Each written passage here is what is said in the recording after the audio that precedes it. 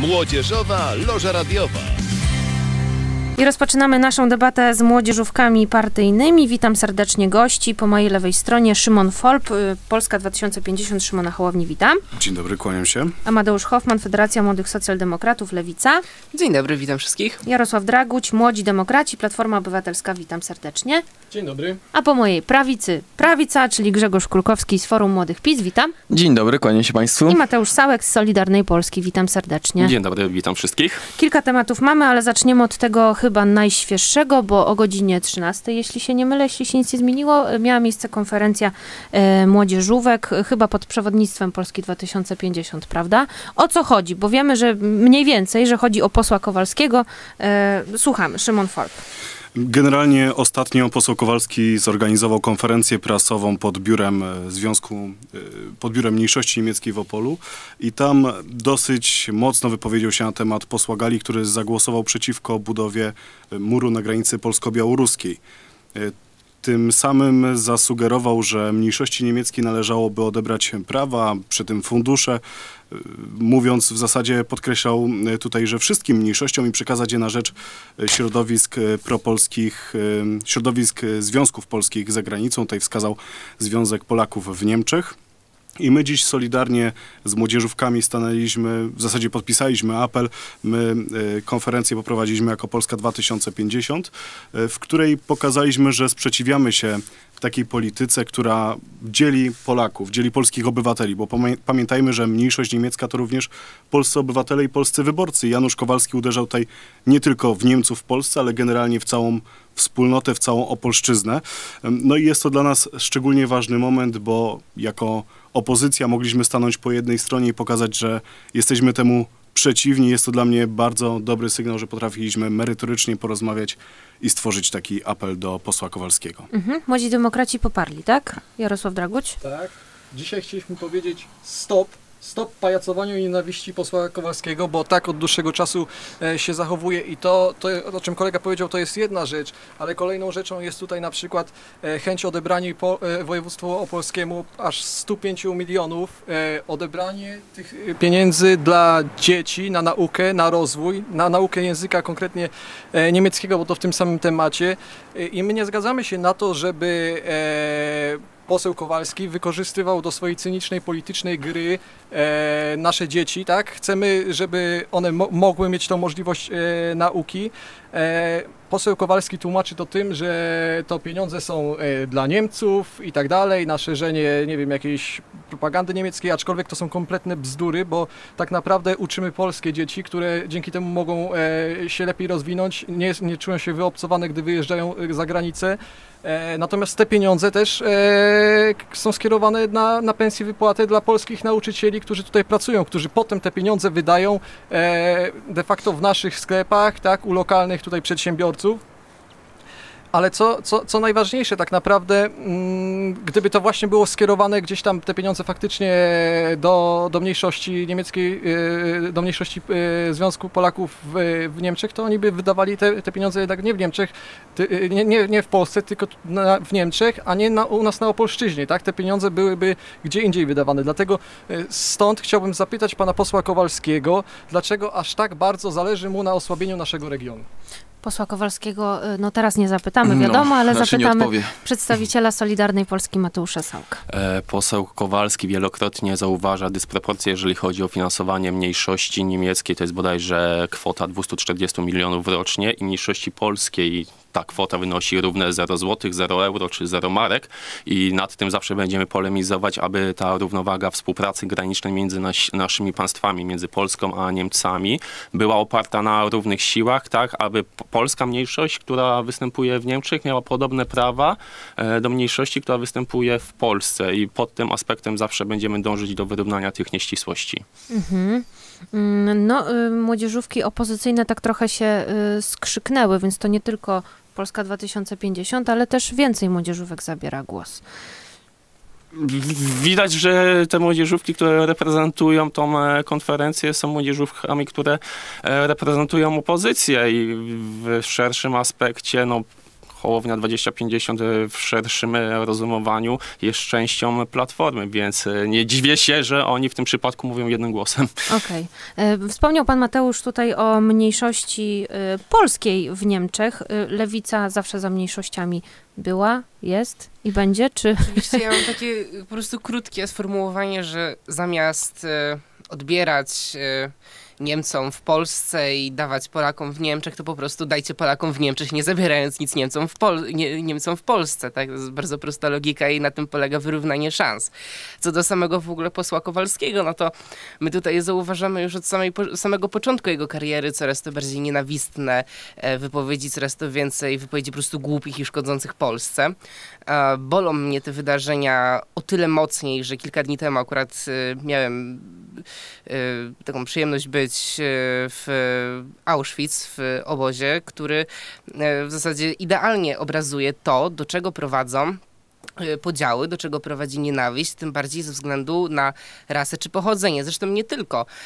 W Auschwitz ginęli ludzie, ginęli Romowie, ginęli Polacy, ginęli Żydzi, ginęli także, ginęli także osoby homoseksualne oznaczone różowym trójkątem. To wszystko boli, kiedy poseł Kowalski, jak gdyby nigdy nic się nie stało, na Twitterze pisze o ideologii gender, o strefie wolnej od LGBT, czy e, w tym przypadku jeszcze szczuje na mniejszość niemiecką. To zresztą też nie jest pierwsza konferencja młodzieżówek opozycyjnych, które sprzeciwiają się e, retoryce posła Kowalskiego. Mhm. Grzegorz Krukowski, Forum Młodych PiS. Mamy wolność słowa, poseł Kowalski może wyrażać swoje poglądy i przekonania i takie apele, żeby ich nie wyrażał, no to to jest dopiero pajacowanie. E, Mi się e, postawa posła Gali w, w kwestiach tych ważnych dla Polski głosowań osobiście nie podoba.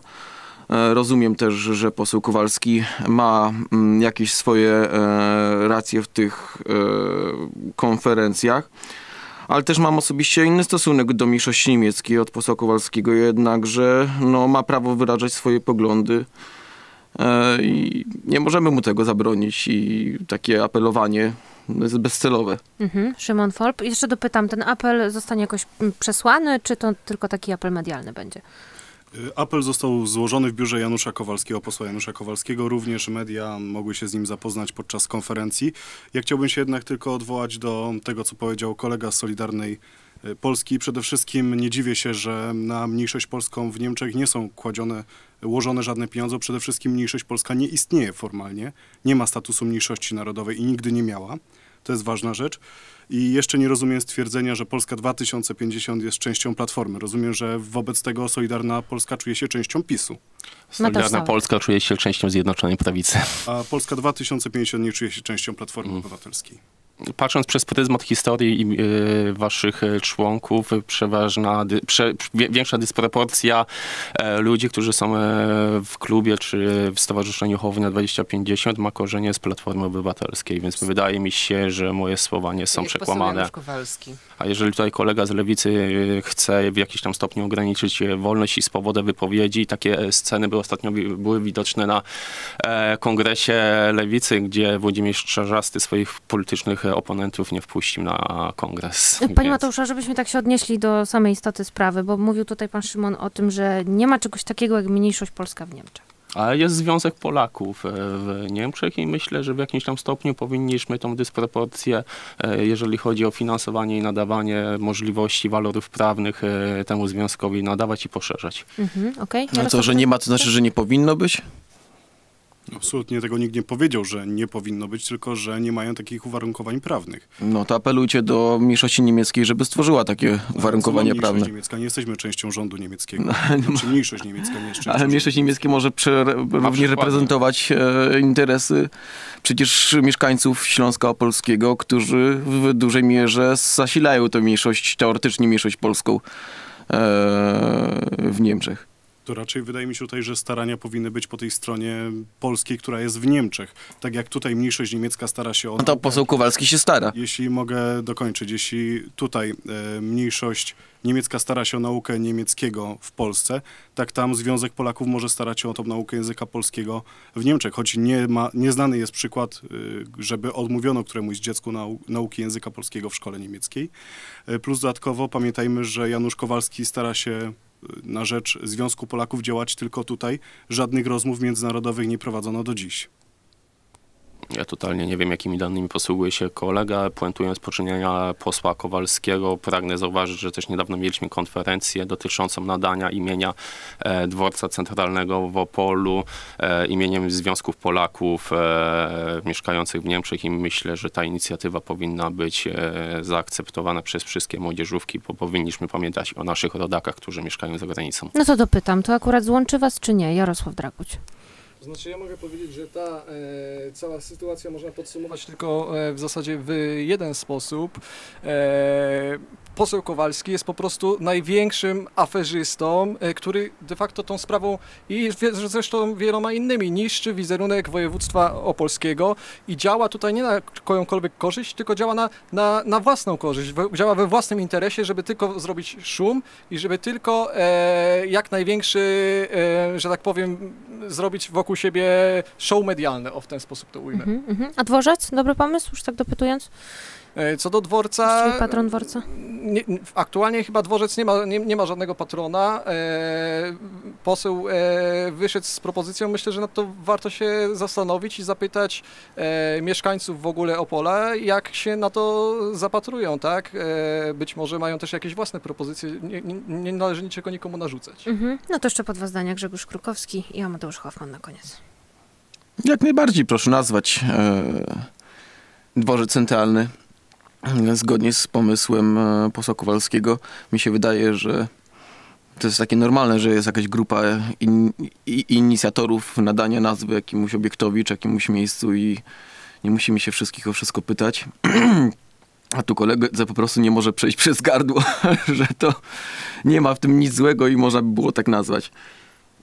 Amadeusz Hoffman. I Myślę, że można by było tak nazwać. Pytanie, co ma dworzec główny w Opolu wspólnego z tym związkiem. I to jest już takie wykorzystywanie... Działacze związku wywożono stamtąd do Auschwitz. No dobrze. E, w każdym razie, e, tak podsumowując, krótkie zdanie, e, to, że poseł Kowalski e, był w Platformie nie czyni Solidarno, Solidarnej Polski częścią Platformy, tak samo Polski 250. I tyle. Mogę? Mhm, proszę, jeszcze Matusz Ale to nie poseł zaraz. Kowalski zmienił poglądy, tylko Platforma zmieniła swoje rozumowanie. Okej, żebyśmy już tutaj nie rozmawiali za dużo o panu, em, o panu Januszu Kowalskim, zamykam wątek i za chwilę druga rozmowa. I przechodzimy do kolejnych tematów w Młodzieżowej Loży Radiowej, a że nasi goście młodzi są, jeszcze się uczą, także często o edukacji rozmawiamy. Prawo i Sprawiedliwość chce wprowadzić do szkół ponadpodstawowych nowy przedmiot historyczny. Minister Przemysław Czarnek mówi, uczniowie będą mieli hit w szkołach. Prace już trwają nad podstawą programową. Hit, czyli historia i teraźniejszość. Chodzi nam o nauczanie historii w sposób nowoczesny, z podziałem na historię powszechną oraz Polski, ale głównie historię drugiej połowy XX wieku, której dziś uczniowie zazwyczaj się nie uczą. Zwykle nauczanie kończy się wraz z II wojną światową, a uczniowie nie uczą się o losach Polski, Europy i świata w drugiej połowie XX wieku, wyjaśnia minister. Mm, Historia i teraźniejszość będzie trzecim takim historycznym przedmiotem w liceach, technikach i e, szkołach branżowych, no bo teraz są lekcje historii, ale też historii i e, społeczeństwa. Dobry pomysł czy niedobry pomysł? Jarosław Draguć. To znaczy ta historia mi się wydaje em, Młodzi demokraci. naj, najbliższa nam, ma największy wpływ na aktualną e, politykę e, i zapewne Prawo i Sprawiedliwość e, chce to wykorzystać, żeby wpoić młodym ludziom szablony, e, takie szablony myślenia, myślenia w kategoriach Prawa i Sprawiedliwości, czyli jeśli e, PiS kradnie, e, to no nic się nie stało, tak? Jeżeli PiS dyskryminuje czy hejtuje, to też nie, no nie ma problemu, wszystko, wszystko jest w porządku, także to będzie taka narracja, takie, e, takie wpajanie tym młodym ludziom, e, że PiS może po prostu więcej. Ale to się mi, się, mi się wydaje, że to się w ogóle e, nie uda, bo Polacy są mądrzy. Tak było też pod e, zaborami, tak było w czasach komuny i była już e, różna indoktrynacja w szkołach. Jednak dzieci potrafiły, rodzice tych, tych, dzieci potrafiły, potrafili ich po prostu z tego wyrwać i, nie dać ich po prostu omamić. A takie przykłady takiej doktrynacji to można już było poznać w czasach Stalina, w czasach Hitlera, tak? To, to nie jest nic, nic zwykłego, a jak wiemy z Prawo i Sprawiedliwość ma takie zapędy, żeby, na, żeby naśladować te machiny takiej e, propagandy, e, ale myślę, że my Polacy na to nie pozwolimy, żeby po prostu e, PiS wziął na smycz nasze dzieci. Koledzy z prawicy Boże. trochę się śmieją, Grzegorz Jarosław, odleciałeś gdzieś daleko, daleko. Hen co by powiedział. W przeciwieństwie do was Oj, jestem na ziemi. Myślałem, Tak? Ale jakiś czas temu...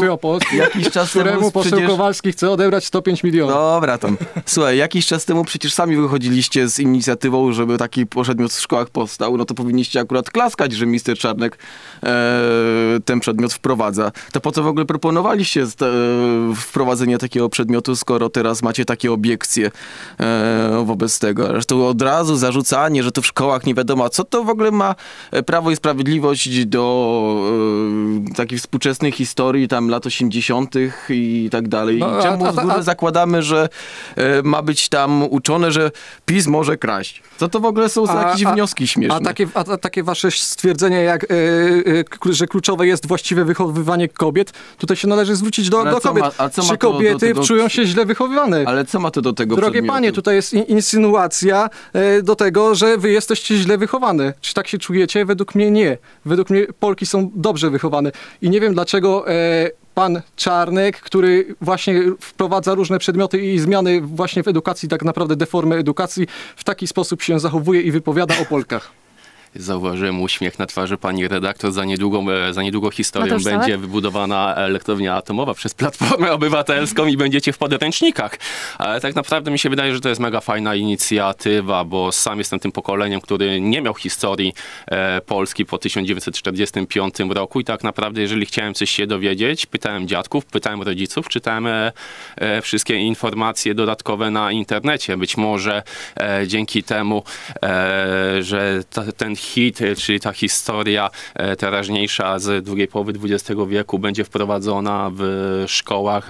Być może młode pokolenie, e, które tak ochoczo przyklaskuje lewicy i ruchowi LGBT, dowie się o takich faktach, że obecni liderzy lewicy, pan Trzarzasty, Cimoszewicz czy Miller byli w PZPR-ze, a PZPR odpowiadał za służby bezpieczeństwa. Natomiast służby bezpieczeństwa w latach 80. przeprowadzały akcję Hyacynt odnośnie inwigilacji polskich homoseksualistów. Być może dzięki temu otworzycie oczy i wasze rozumowanie się otworzy. Ciekawy Na... film był ostatnio tego. Czytałeś- lewica, czytałeś kiedyś, o, kiedyś o akcji Hyacynt?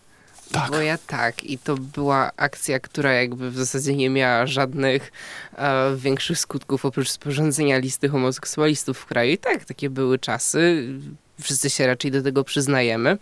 E, nie wstydzimy się. Była to w zasadzie samowolka e, jednego członka PZPR-u. E, i dla mnie to jest koniec tematu. Natomiast co do Mhm. naszego głównego tutaj tematu rozmowy, czyli tego hitu, no to dla mnie przede wszystkim, żeby rozmawiać o wprowadzaniu nowych przedmiotów, e, musimy się zastanowić nad tym, jak uszczuplić program e, edukacji. I mówię to jako licealista, który uczęszcza do szkoły w Opolu. Lekcje są zdecydowanie zbyt długie, ilość materiałów jest zbyt duża do nauki i większość uczniów po prostu nie wyrabia. E, naprawdę po, po tych e, zdalnych znaczna część e, znaczna część e, uczniów moich znajomych z klasy, ze szkoły, czy musiała przejść na nauczanie indywidualne, czy po prostu podpadła na zdrowiu psychicznym, którym, który jest kolejnym problemem, tylko połowa szkół ma w ogóle psychologa zatrudnionego u siebie. E, taka historia i teraźniejszość, taką historię i teraźniejszość można by w zasadzie było wsadzić do zwykłej historii, wystarczyłoby tą historię trochę uszczuplić. I jeśli specjaliści od ministranta y, Czarnka Ministra. Ministra. no, dla mnie to jest ministrant. E, ministranta Czarnka, który jest zwyczajnym sługą kościelnym, e, chcą są w stanie tworzyć od podstaw całkowicie nowy przedmiot, no to myślę, że są na tyle dobrymi specjalistami, żeby się zastanowić, co z innych przedmiotów można wyrzucić jak uszczuplić, e, jak uszczuplić system, jak odciążyć uczniów. Mhm. I na tym się teraz powinniśmy skupić. Okej, to był Adam- Amadeusz Hoffman z Lewicy, Szymon Forp.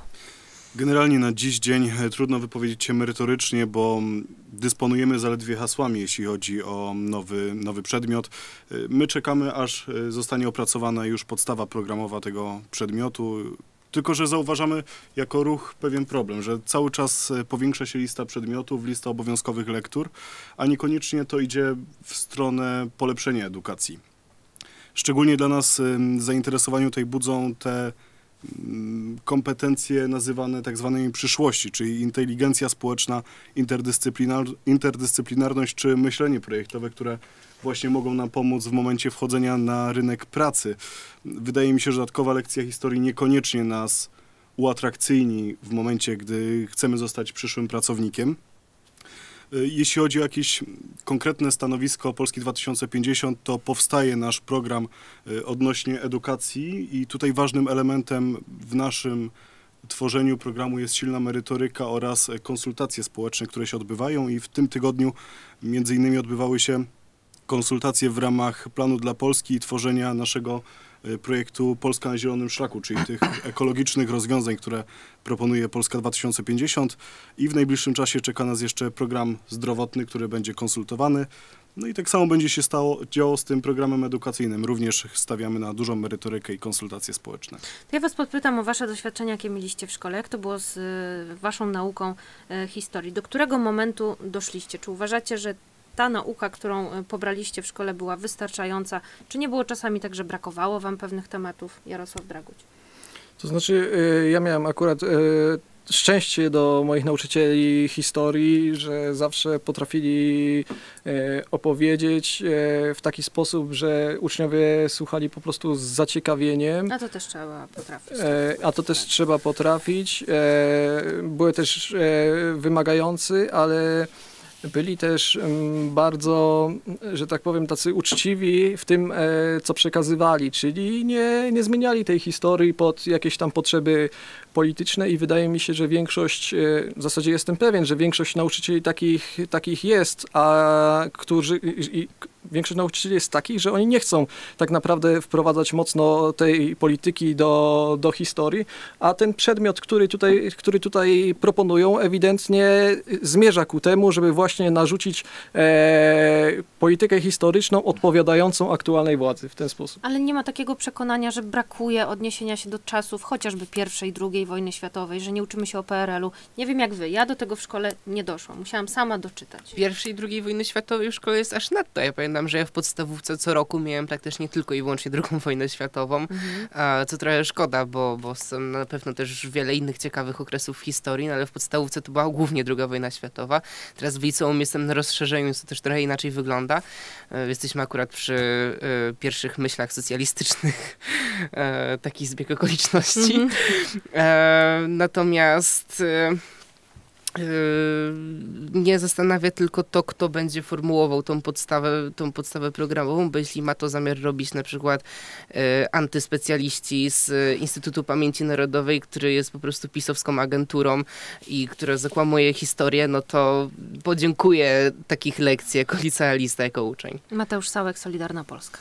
Chciałbym się odnieść do poprzednich słów tutaj kolegi z Lewicy. Minister Czarnek był na początku tygodnia gościem e, redaktora Mazurka i jednoznacznie zadeklarował, że ten nowy zakres dotyczący e, godzin tygodniowych związanych z tym przedmiotem nastąpi po wyszczupleniu godzin związanych z materiałem z obecnej historii, czyli prawdopodobnie e, wstępny zarys będzie wyglądał w ten sposób, że Mezopotamia i te starożytne wszystkie wątki Chyba mitologiczne zostaną średniowiecze, wycięte tak, na poczet tej e, nowoczesnej historii. I mi się wydaje, że w takim przypadku to jest jak najbardziej wskazane. No przecież po 45 możemy śmiało mówić o żołnierzach wyklętych, o PRL-u, czy o okrągłym stole i tak naprawdę przypuszczam, że tutaj wszyscy koledzy dowiadywali się e, tych informacji z mediów internetowych lub e, z przekazu ustnego swoich rodziców, swoich dziadków, którzy żyli w tamtym czasie. I wydaje mi się, że to warto ustandaryzować i pokazać w klarowny sposób, jak wyglądało życie za młodości naszych dziadków, za młodości naszych rodziców. Mhm. O, to też istotne. Grzegorz Krukowski. No cóż, jak ja pamiętam, zresztą kiedyś o tym rozmawialiśmy na antenie Radio Opole, e, o tych niedoborach, jeżeli chodzi o wiedzę historyczną, e, z którymi wychodzą uczniowie naszych szkół. E, No to tak faktycznie było. Zaczynało się i w podstawówce, i jeszcze wtedy w gimnazjum, i w, histo- i w liceum e, wiecznie te same tematy, czyli od starożytności, średniowiecza i tak dalej, aż do znudzenia ledwie zahaczaliśmy o drugą wojnę światową, na tym się kończyło. I właśnie tak jak tam kolega mm, Jarosław mówił, że gdyby nie chęci przekazania nam dodatkowej wiedzy przez nauczycieli, najprawdopodobniej w ogóle byśmy nie, nie, nie dotykali tych bardzo ważnych e, zagadnień z historii najnowszej, no bo przecież to jest wiedza nam niezbędna, żeby w sposób trzeźwy i racjonalny móc oceniać e, współczesność, różne rzeczy, które się dzieją teraz, e, no bo ta wiedza historyczna jest e, niezbędna. No i moim zdaniem wprowadzenie takiego przedmiotu jak ten hit e, tą pustą przestrzeń zapełni i wyposaży e, przyszłych absolwentów polskich szkół w niezbędną wiedzę o współczesnej historii. Także mhm. bardzo dobrze, że taki przedmiot zostaje wprowadzony. Też tu Szymona Folpa dopytam, jak historia wygląda, czy też takie były niedobory? No, generalnie z tym bywało różnie, tak jak mówiliśmy, zależało w zasadzie od nauczyciela, no i nie da się ukryć tutaj te najbliższe czasy nas w historii są omijane najczęściej i tego najbardziej brakuje uczniom i uważamy jako Polska 2050, że jest to ważny temat. Mhm. Okej, okay, to jeszcze na koniec zupełnie jest transfer. Paweł Zalewski e, kiedyś w Platformie Obywatelskiej, e, a ostatnio taki wolny elektron, można powiedzieć, przeszedł do ugrupowania Szymona Hołowni 2050. E, zapytam może opozycji na początek, czy to was e, trochę niepokoi, no bo to zawsze są takie niesnaski później między ugrupowaniami. Może Jarosław Draguć. To znaczy, ja się w ogóle dziwię, że dzisiaj rozmawiamy na ten temat, bo on wydaje mi się, że w żaden sposób nie emocjonuje opinii publicznej.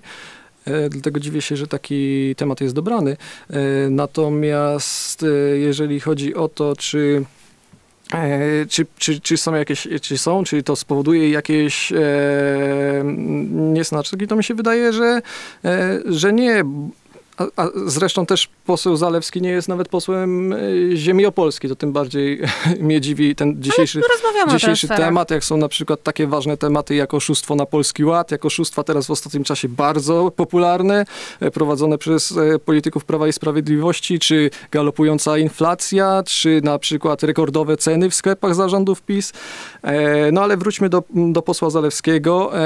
Poseł Zalewski został wykluczony z Platformy Obywatelskiej w maju bieżącego roku e, dlatego że mm, działał na szkodę Platformy. Miał inne zdanie od działał, działał na mhm. szkodę Platformy e, i nie chciał e, dyskutować, dojść do porozumienia wewnątrz, tylko po prostu krytykował, e, krytykował e, działania na zewnątrz. W przyszłości podobno też mu się takie rzeczy zdarzały w innych, e, w innych ugrupowaniach, dlatego trochę się martwię o Polskę 2050, że, że, że to może się historia powtórzyć mimo wszystko życzę im e, wszystkiego dobrego i mam nadzieję, że ten transfer przekują wartość dodaną dla demokratycznej opozycji. No proszę, mamy zmartwienie o, o kolegów y, od Szymona Hołowni. Hmm? No, my dziękujemy bardzo za troskę. No generalnie bardzo się cieszymy, że zwiększa się ta liczba naszych posłów w Sejmie, tego nie możemy ukryć. No i poseł Zalewski jest e, politykiem o bardzo barwnej historii w kontekście, o bar, bardzo barwnej e, historii. Jego działalność sięga już e, okresu obrad Okrągłego Stołu, gdzie angażował się w kwestie edukacji. No i będzie u nas w ruchu, co jest ważne, działał na rzecz polityki międzynarodowej, co jest kluczowe też w pierwszym temacie, który poruszaliśmy tutaj Janusza Kowalskiego, gdzie mówiliśmy na konferencji o tych dobrych stosunkach polsko-niemieckich, które dotychczas były. No i jeszcze ważna rzecz, co tego, co powiedział kolega z PO, zgadzam się tutaj z kolegą z PiSu, że Problem polegał na tym, że poseł Zalewski właśnie nie zgodził się wtedy z szefem partyjnym, co my bardzo doceniamy, że głosował zgodnie z własną... Gorzej jak się Szymonowi Hołowni sprzeciwi, to, to nie wiadomo. Grzegorz Krukowski PiS. No co już mnie to zasadniczo te transfery między opozycją e, średnio interesują e, bo to ani nie jest minus, ani plus w tych wszystkich układankach. Bardziej można to rozpatrywać pod kątem jakiegoś kolejnego elementu przyszłej, przyszłego sporu odwiecznego sporu e, w opozycji, które z e, ugrupowań opozycyjnych będzie tym wiodącym liderem i które będzie narzuca, próbowało narzucać e, swój głos mniejszym ugrupowaniom opozycyjnym. Zjednoczonej Prawicy to się nigdy nie zdarzało. Więc e, cały czas mi się wydaje, że to będzie jeden z tych elementów, jeden z elementów tej ciągłej dyskusji. Natomiast e, co do mm, Polskiego Ładu, to chciałem zwrócić uwagę na to, że wszyscy samorządowcy z Opolszczyzny, z Platformy Obywatelskiej bardzo chętnie się wyciągali ręce po pieniądze z Polskiego Ładu i z wielkim uśmiechem, e, dziękując nam e, za mm, ten program. Także no nie wiem, czy wszyscy mają takie same zdania dotyczące mm, tego, że Polski Ład to jest jakiś wał, bo z wielkim entuzjazmem przyjmują nasze projekty. Pytanie, i... czy do tego nie byli E, zmuszani. no. Albo, albo, albo się udostępnicie i będziecie cieszyć, albo y, wasza gmina nie dostanie, także... No tak. Okej, a o Polskim Ładzie dzisiaj jeszcze nie. Poza tym i Mateusz tak Sałek. gmina na tym zwykle więcej straci niż zyska. tak? Oj, to po co brali? To, przez to pogadaj z kolegą Mąkiewiczem, zabierają. e, starostą powiatu brzeskiego albo z panem starostą powiatu prudnickiego, jak bardzo ich byli zmuszani i na pewno uważają, że skoro na tym stracą, no to powiedzcie, żeby nie brali tych pieniędzy. No ludzie złoci. Okej, po dwa zdania na koniec. Mateusz Sałek i Ma- a, Mateusz Hoffman. E, puentując temat e, ostatniego e, poruszenia tutaj w studiu, no to moje słowa są prorocze, że większa część e, zaplecza politycznego Szymona Hołowni ma po prostu korzenie z Platformą Obywatelską i tego no, kolega nie może e, zaklinać, tylko trzeba przytaknąć, a martwi mnie tutaj brak e, demokracji, brak indywidualności, jeżeli chodzi o swoje zdanie w Platformie Obywatelskiej, że jeżeli ktoś się wyróżnia e, zdaniem, od razu jest usuwany z zaplecza politycznego, z ugrupowania politycznego. A spróbuj nie zagłosować na wyborach na Donalda Tuska. O, to ci ręka uschnie. I Lewica jeszcze, a Mateusz Hoffman. E, Tak przypomnę, że poseł Zalewski był także w 2007 roku wykluczony z Prawa i Sprawiedliwości za to, że się sprzeciwił e, swoim szefom, a więc to tylko pokazuje waszą hipokryzję Sam wzajemną. odszedł. Tak jak wszyscy od was odchodzą, tak jak pan Gowin, tak, też sam odszedł. No, Wiele ale osób. nie był w PiSie, co ty mi tutaj Ja mówisz. tak Nie, podliczyłem Zjednoczonej sobie, że pan Zalewski to był już w dziewięciu partiach od 1990 roku, co, co, co, co dużo świadczy o tym, jak bardzo szybko z, potrafi się przystosować do sytuacji Ale też te partie się przekształcały, także Tak, ale jakby podstawa zostawała taka sama. No tak, No, ale co, co, co innego jest, jak się w trakcie kadencji, będąc posłem, do innego ugrupowania przeniesie. A coś takiego powinno być karane oddaniem mandatu zwyczajnie, ponieważ to były głosy na listę Mhm. e, wyborczym, tym bardziej w takich większych komitetach jak Ko- Koalicja Obywatelska, gdzie bardzo często głosy nie są oddawane na konkretnych kandydatów, tylko po prostu na listę. E, więc tutaj Koalicja Obywatelska akurat traci. E, natomiast do tego, że się zajmuje edukacją, to ja tak chcę taką przestrogę, że już była taka jedna osoba i nazwiskiem Zalewski, a dokładnie Zalewska, co się zajmowała edukacją i dobrze nie wyszło, więc Zamykam wątek. Dzięki bardzo. Amadeusz Hoffman, y, FMS, Federacja Młodych Socjaldemokratów, Lewica. dziękuję bardzo. Szymon Folp, Polska 2050, Szymona Hołowni. I Jarosław Dragoć, Młodzi Demokraci, Platforma Obywatelska, Grzegorz Krukowski, Dziękuję Forum bardzo. Młodych Peace and love. i Mateusz Sałek, Solidarna Polska. Dziękuję pięknie. Dziękuję, I pozdrawiam Anna wszystkich. Matlak, dobrego piątku. Młodzieżowa Loża Radiowa.